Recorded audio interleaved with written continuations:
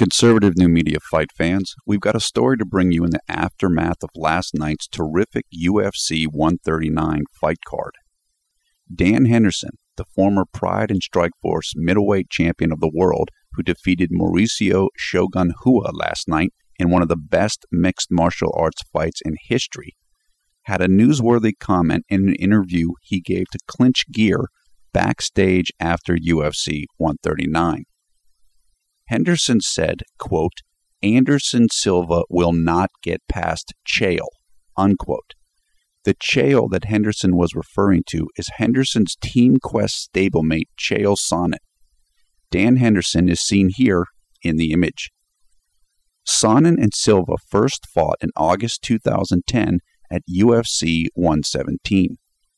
Sonnen dominated the action for the majority of the five round contest, but Silva was able to win the fight when he secured a triangle armbar on the American midway through the final round.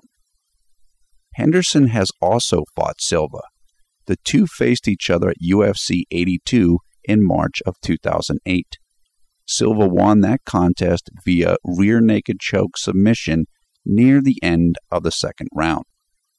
It has been announced that there will be a Silva Sonnen 2 it is still unknown, however, exactly where and when that matchup will take place.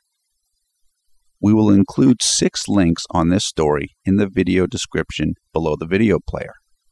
The first link will take you to a video of the Henderson interview where he made his remarks after UFC 139. The second link leads to a story where the Silva Sonnen rematch is mentioned, and there is speculation that the second fight could take place in June of 2012 in Brazil.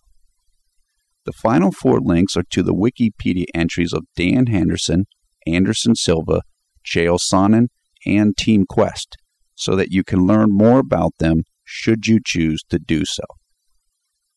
Reporting for Conservative New Media, this is Paul F. Villarreal.